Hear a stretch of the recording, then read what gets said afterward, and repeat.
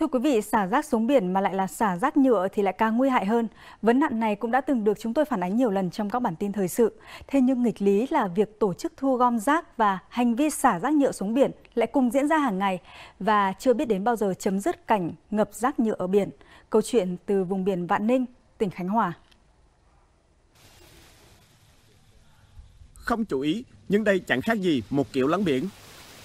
Lắng biển nhưng không phải dùng đất đá mà lại là rác nhựa.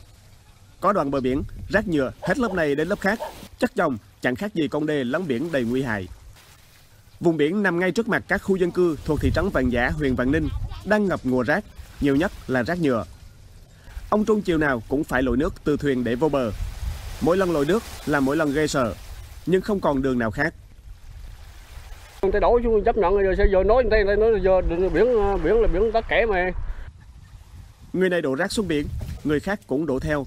Vậy là cả làng xem biển như là bãi rác. Điều đáng nói, ở thị trấn Vạn Giả, huyện Vạn Ninh, việc tổ chức thu gom rác đã có từ lâu.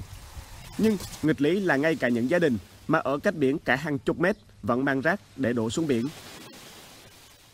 Xì rét đổ, Cỡ hai ba nghìn nó đổ một bữa nấu trước nghề nó dơ.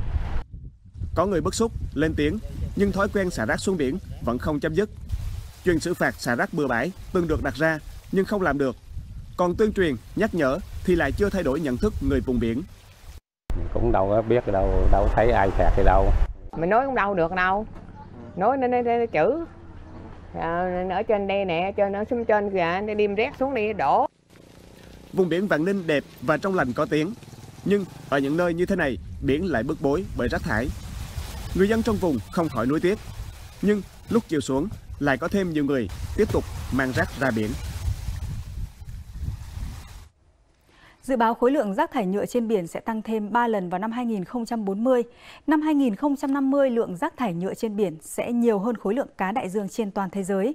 Vì vậy, chúng ta đang rất cần những hành động thực chất chứ không phải là những buổi giao quân để giữ lấy những bãi biển đẹp.